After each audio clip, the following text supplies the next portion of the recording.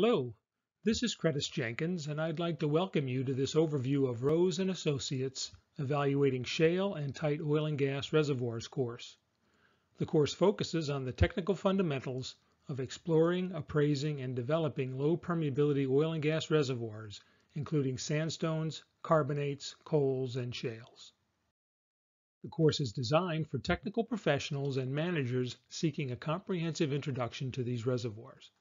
The course is intended for those without previous experience, those with some experience that want to broaden their understanding to include new concepts and case studies, and seasoned individuals interested in emerging technologies and practices such as enhanced oil recovery. The objectives of the course are to help you understand which data need to be collected, how to analyze and interpret them, and how to apply the results of this work in your decision making. Along the way, we highlight the critical uncertainties controlling well productivity and how to quantify their impact by integrating geoscience and engineering data. We also focus on the practices and pitfalls of reservoir evaluation to understand what works and what doesn't.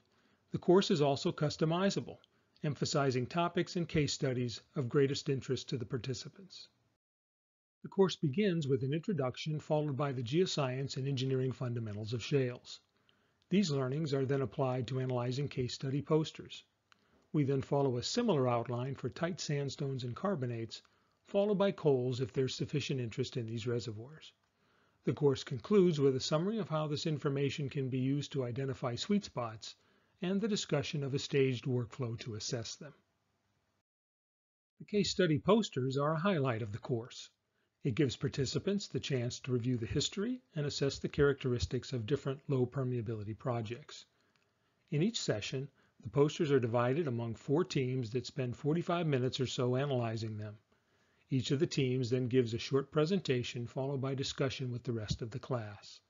This photo shows the participants in a shale gas case study poster session where the team on the left is evaluating the Marcellus Shale and the team on the right is evaluating the Utica Point Pleasant Shale. The course is always well received, and this slide includes quotes from some of the course participant reviews. In general, participants tend to value the integrated nature of the course, the breadth and depth of coverage, and the case study applications. Attendees often recommend this course to others, and some have taken the course several times both to master the concepts and pick up new information since the course is regularly updated. We hope you've enjoyed this introduction to our Evaluating Shale and Tight Oil and Gas Reservoirs course. We invite you to visit our website where you can sign up for an open enrollment course and download a detailed description. We also offer this course internally to companies and can customize it for your needs. If we can answer any questions or provide more information, please send us an email. Thank you, and we look forward to seeing you in one of our future offerings.